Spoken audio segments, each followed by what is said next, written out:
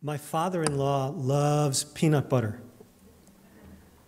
And there's a joke in my family that when my father in law was deciding whether or not I would be okay as a son in law, uh, that he saw all he needed to know uh, when I sat down with him to eat a peanut butter and fried egg sandwich. That's the reaction I usually get when I talk about the peanut butter and fried egg sandwich. It's one of my favorite uh, breakfasts in the morning. I had it this morning. Um, and uh, yeah, the response I usually get is, What kind of weird combination is that? Who thought of that? The joke is, uh, he decided that I would be a decent son in law, well, I think, uh, from that snapshot of me. Um, of course, the reality is he knew me for quite longer than that.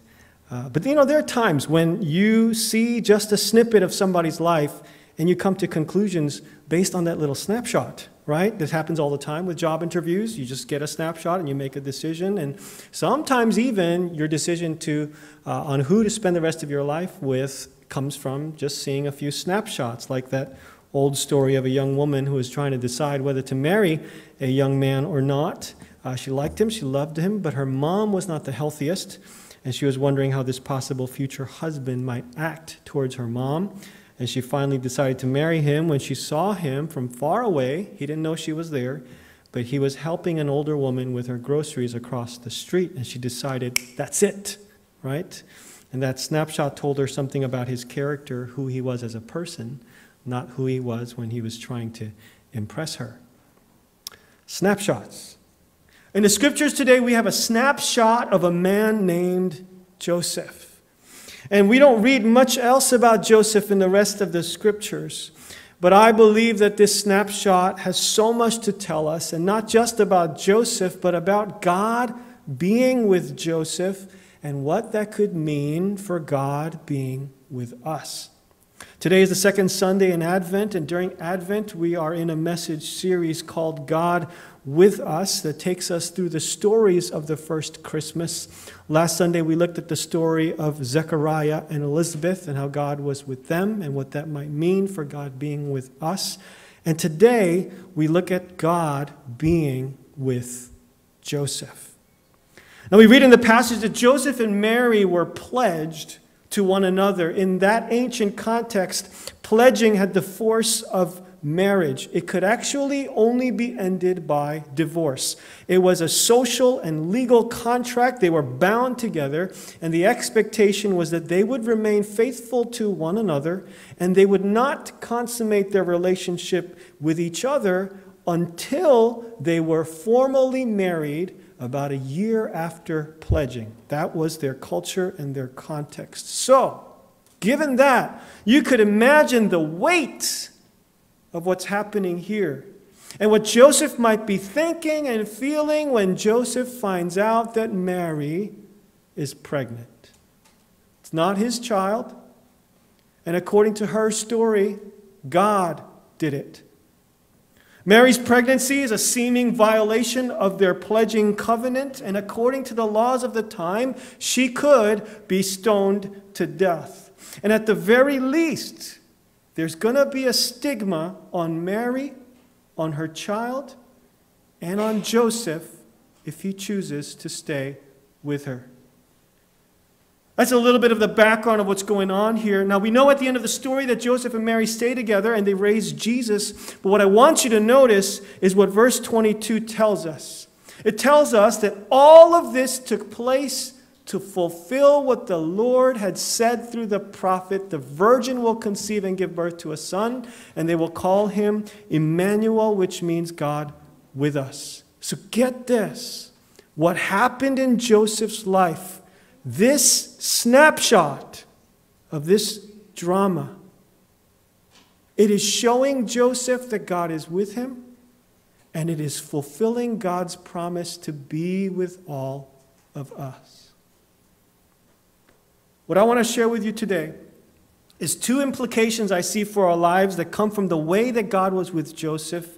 And then I want to close with some practical applications. My hope is that you would come to trust and experience in this season that God is with you as well.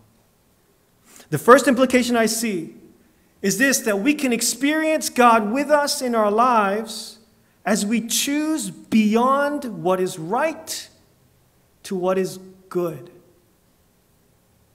Verse 19 tells us some of Joseph's reaction when he finds out what's going on with Mary. It says, Because Joseph, her husband, was faithful to the law and yet did not want to expose her to public disgrace, he had in mind to divorce her quietly. And in there, you see Joseph's inner conflict. You can imagine that, right? He wants to do what is right, he needs to think about himself, his family, his reputation. But also, he's conflicted because he has a heart of mercy. He does not want to see Mary be disgraced because of this. And so his solution, as far as he can think of, what he thinks is right thing to do, is to separate himself from her quietly. Maybe he can make it disappear, and that's the best thing he can think of for himself and for Mary. But verse 20 goes on to say this After he had considered this, an angel of the Lord appeared to him in a dream and said, Joseph, son of David, do not be afraid to take Mary home as your wife because what is conceived in her is from the Holy Spirit. And we're told in verse 24 that when Joseph woke up, he did what the angel of the Lord had commanded him and took Mary home as his wife. What I see here is that Joseph chose to go beyond what he thought was right, to choose instead what was good and of God. God revealed that he was with him through the angel and showed him a choice beyond what was right. And as he made that choice, Joseph would go on to witness and to experience more of God being with him in his life. He would even get to be with God in the flesh as his adoptive son. And he would live with Jesus, God in the flesh, for decades. Friends, I wonder this. If perhaps we also can witness and experience more of God's presence in our lives as we lay down what we think is right and choose instead what is good. You know, we can see in our culture and all of its issues that the conversation or the lack of conversation revolves around the question of who's right, of what is right. And everyone has a tendency to think that they themselves are right. Right? But we don't need to look into the culture to see this tendency. We just need to look at our own lives and around ourselves. Because we see ourselves, our own marriages, our own families, and that's all you need to see to see that everybody thinks they're right. But being right, friends, may not always be good. I remember my brother and I got into this heated argument as adults I don't remember what we were arguing about, but it got pretty bad. And we actually went to our father and said to him, as adults, Dad, I say this, my brother says this. Who's right? Tell us. And of course, I said this to my dad, thinking, obviously, my dad will say, I'm right. my dad looked at the two of us and said, You are both evil. We were so shocked. We just stopped talking. End of argument. And I think that's when I started to learn that being right is not always good. You know, Jesus said something similar to this. There's a story in John chapter 8 about a woman who gets caught in the act of adultery. Jesus is teaching in the courts of the temple, and the teachers of the law and the Pharisees, they drag this woman to make her stand in front of them and in front of Jesus. And they say to Jesus, Teacher, this woman was caught in the act of adultery, and in the law, Moses commanded us to stone such women. What do you say? They're trying to trap Jesus. If Jesus says, no, don't stone her, he's breaking the law. If Jesus says, go ahead and stone her, then his mercy towards other people and all that he's been doing about that, that goes out the window. So what do you do? Now, these Pharisees and teachers of the law, they're so concerned with what is right, with being right, proving Jesus wrong, and they're so concerned about that that they trap this woman, right, in this unfair kind of trial, so to speak. They try to trap Jesus, and they forget conveniently to bring the adulterous man in front of them in the process. Well, Jesus stoops down to write on the ground. And when they keep insisting, he tells them this Let any one of you who is without sin be the first to throw a stone. And one by one, from oldest to youngest, they drop their stones and leave because they know none of them is without sin. I think that's where my dad got the response You're both evil. You're all of you. You're evil. Jesus had a lot more tact, but he's the only one left. And he's the only one who has no sin. He's the only one that can condemn her for what she's done. And what does he do? He says to her, I do not condemn you. Go leave your life of sin. Jesus does not choose what is right, Jesus chooses what is good, what is godly.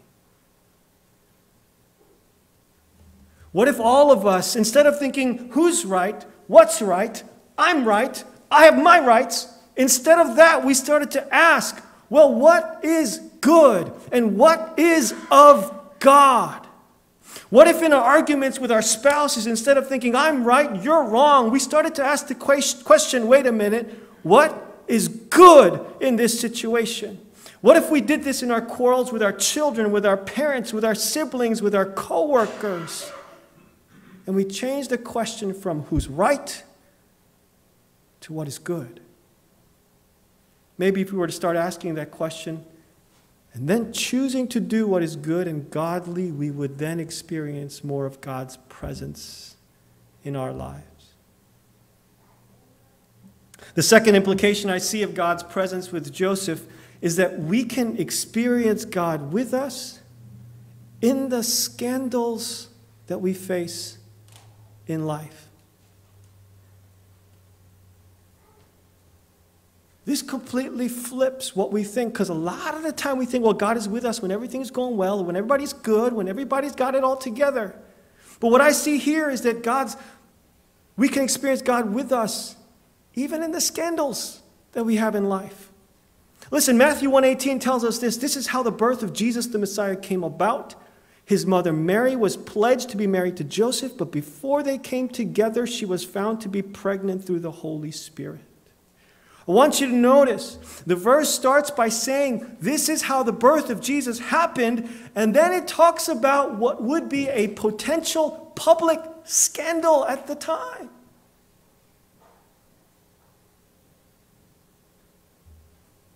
It does not say this is how the birth of Jesus came about. Joseph and Mary were happily married, and as couples do, they have a bright and beautiful child that everybody's proud of. When we think of Christmas nowadays, we often think of good holiday feelings, the pleasing holiday music, the good times we look forward to with others, and all that is good. But do you know, Christmas started with what looks like a scandal. I hope we don't forget this because it is so powerful if we do not. Let me explain. Again, all of this happened to fulfill what God had said through the prophet the virgin will conceive and give birth to a son, and they will call him Emmanuel, which means God with us. The prophet who said that was the prophet Isaiah. And when Isaiah was speaking these words, he was talking to a king of God's people named Ahaz hundreds of years before Jesus. Ahaz was not a good person. Ahaz was not a good king. Scripture tells us in 2 Kings 16 that Ahaz sacrificed his own child in the fire. He burned him up as an offering to some God. Ahaz was hoping that that God, whatever God it was, would give him some sort of advantage in life. So he sacrificed his own kid. He gave up his own son for his own selfish desires. Ahaz engaged in detestable practices and did not follow God. And it was during his no good kingship that two other kings attacked and laid siege on the capital city of Jerusalem where he was. Ahaz and his people were shaking with fear. What's going on? What do we do next? That's when Isaiah the prophet showed up and told him, Ahaz, God says these two kings are going to be gone. Stand firm in your faith. Keep calm and don't be afraid. I think that's where the t shirts came from. Keep calm. Don't be afraid. And he said, Ask God for a sign to prove this and he will show you. Ahaz said, No, I'm not going to ask God for a sign. And Isaiah says to him, You know what? God is asking you to ask him for a sign. And you're not going to do it. God is going to give you a sign. And that sign is the virgin will conceive and give birth to a son and we'll call him Emmanuel. And before that child is old enough to eat curds and honey, those two kings will be gone. Isaiah is telling the king, Babies cannot eat honey until a year old, right? Isaiah is telling the king, within a couple of years, these two kings that you think are such a threat to you are going to be gone. Don't worry, don't be afraid, keep your faith. God is with you. You see, even though Ahaz was not a good king, and even though God's people were not all following him at the time, God still showed up and said, I'm still with you. So when Matthew applies Isaiah's words to Jesus, what he's saying is, ladies and gentlemen, Jesus shows us that God is with us even though we're not always with him. Jesus was born into a scandal. Jesus died in a public scandal, the scandal of the cross, right? Remember, the cross is a shameful public execution. Jesus is born into scandal. Jesus dies in a scandal. Why? All of it to show us that God is with us. God is with the broken. God is with the sinner. God is with the ashamed. God gets himself messy. Jesus shows us that God chooses to be with us in the scandals we have in our lives. When Joseph chooses to stick with Mary and the stigma that she will have, when Mary chooses to take on this scandal in her life, they are both pointing to what their son Jesus will do when Jesus takes on all the sin and all the shame and all the brokenness of humanity on the cross.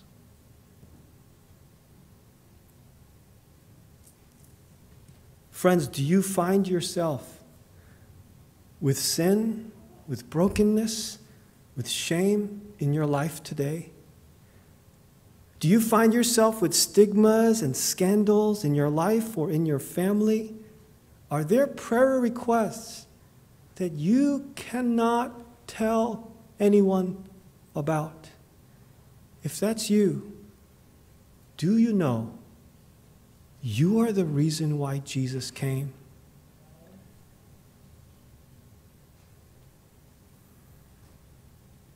You're the reason why Jesus came. In verse 21, the angel told Joseph, Joseph, give the baby the name Jesus. Why? Because he's going to save people from their sins. And just like a firefighter gets into the fire to save, a lifeguard gets into the water to save, just like a parent has to get into the poop to clean their baby, so God steps into sin, into shame, into brokenness, and the scandals of our lives to save us, to heal us, to forgive us, to make us new. And if you find yourselves in such things today or ever, it is as you turn to God in the midst of what you're going through that you can experience God with you right there. So if you're not a follower of Jesus, I invite you to put your trust in Jesus today because he loves you. He gave his life on a cross so you could be forgiven and healed and follow him in a close relationship with him of love that lasts now till forever. So turn from life without Jesus to life with Jesus. We call that repentance, where you give up life without Jesus and you take on a new life of following him and his ways. You can do that by praying to Him for forgiveness, healing, and help to follow Him. And if you do that for the first time today or any day, please tell somebody, tell me, and join a church family to follow Jesus with others. For all of us, I offer you two practical applications from these implications that I've shared with you, and I know they can be challenging. First, I ask you, where do you need to go beyond what is right? To what you think is right? To what is good and what is godly? Do you know? All of us choose what we think is right because we think that's good. What is right and what is good has become a matter of personal preference. But that is where sin started, where Adam and Eve chose to eat the fruit because they thought it was a good thing to do, even though God had told them not to.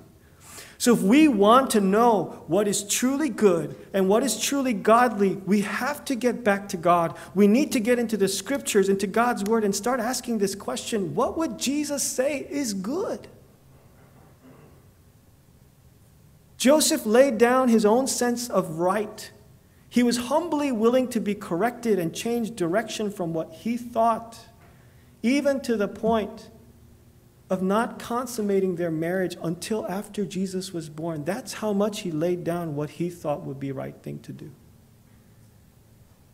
And maybe what we need to do is to lay down our own sense of what is right, lay down what we even think are our rights, and seek God as to what God will say is good. Maybe we need to read Scripture less with the thought of, this is how the Bible supports what I think, and more the thought of, how is God wanting to transform the way I think? Because the application of what is good is going to be different for different people in different contexts. For example, if your sense of what is right is to be nice all the time, then what is good might be for you to stop being nice. If your sense of right is whatever makes you right and other people wrong, then what is good might be for you to admit you're wrong. If your sense of right is anything that makes your life more comfortable, then what is good might be you getting uncomfortable because there's something greater than your comfort. Doing what is good might be giving tough love instead of being nice. Doing what is good might be being nice rather than giving tough love all the time. It might be giving grace. It might be giving truth. It might be setting boundaries. It might be breaking boundaries. Good might be getting rest and getting comfortable. Good might be getting uncomfortable. I think it'll be different depending on your journey with God in your context. And I invite you to seek God personally. Get into the Bible, into the scriptures, study them, learn them, and in faith, apply what is good in your life. Second, in what way can you show God's presence in the brokenness of our world?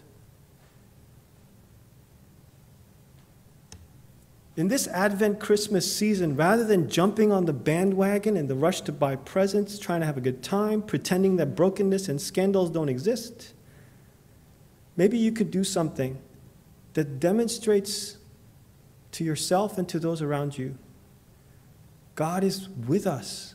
God is really with us. Maybe for you that means forgiving other people. Maybe for you that means standing with other people in the midst of their brokenness praying for them, telling them that they're loved. Maybe for you it means sharing your faith story of how you have come to be a follower of Jesus Christ. Maybe it means helping those who need help. One thing I think we can all do together is to bring in diapers for our annual diaper drive for the ministry of the Maker's Place in Trenton. The Maker's Place is a diaper bank and a resource center in Trenton for families in need. Did you know one in three families in the United States do not have enough to cover diapers for their babies? And the households that have a shortage of diapers have an average of 50 diapers a week that they're short. Sorry, 50 diapers a month that they're short. With prices rising, there's even less to go around. And so I invite you, as you're able, to bring in packages, boxes of diapers all December. Because as a church, this may be one practical thing that we can do together to say, we're not looking to who's right and what's right. We're looking to do what is good. Because I tell you, half the people in Trenton, or at least half the families in need, will disagree with half the people in our church about half the issues of life and culture and society and politics. And will raise half their children to believe half of what they believe. So you can either say, well, I think I'm right and they're wrong. So I'm not going to help them raise their family. Or we can do what is good. And as a church, we can do this one practical thing together to say, God is with us, and God is with them. God is with us all. I close with this.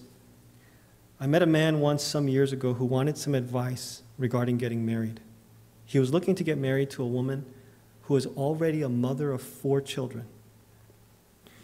We talked about several different things, and when it came to the subject of the four kids, I asked him about it, but we did not need to talk about much because this is what he said to me. He said, Those four children would be his, he would be their father, and they would be his children, and he would not think differently. I saw in that moment somebody who was choosing not just what is right, but what is good. That specific choice may not be for everybody. But Joseph chose what is good in the midst of a scandal. And he got to witness more of God's presence in his life. So, where are the people in our day who will go beyond what is right to choose what is good? Where are the people who will go beyond thinking about their rights to choose what is godly? Where are the people who will demonstrate God's goodness and presence to a world that really needs to see it? And where are the people who, in the Christmas season, will demonstrate and show and share the love of Jesus Christ? Aren't those people right here in this room? Aren't you the ones who follow Jesus? For God is with us. He has shown us that in Jesus Christ. So let us be those who choose what is good and what is godly in the midst of the darkness and scandals of our world. And let us witness and experience all the more God's presence with us. Amen.